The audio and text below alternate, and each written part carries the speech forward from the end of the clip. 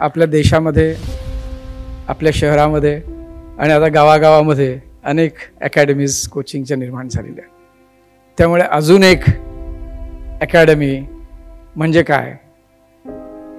पण एखादा माणूस मला आई वडिलांनी ठरवलं म्हणून काही यू पी एस सी वगैरे होत नाही तर त्यासाठी अभ्यास जो करावा लागतो त्याला स्वतःला करावा लागतो आणि खूप सेल्फ मोटिवेटेड व्हावं लागतं. त्यामुळे जर तुमच्या आईवडिलांनी सांगितलं असेल तर तू अधिकारी हो तर ते तर पहिलं बाजूला ठेवा. म्हणजे त्यांनी जर ते सांगितलेलं आहे तर ते खरंच तुम्हाला आहे हवं आहे का नाही हे तुम्ही मनापासून तपासून घेतलं पाहिजे. म्हणजे मी मी सुद्धा एक काळ मला मला मला पण वाटलं की मी पण आय एस होईल. म्हणजे तुमच्या रिॲक्शनवरून कळलं की हा जोक होता.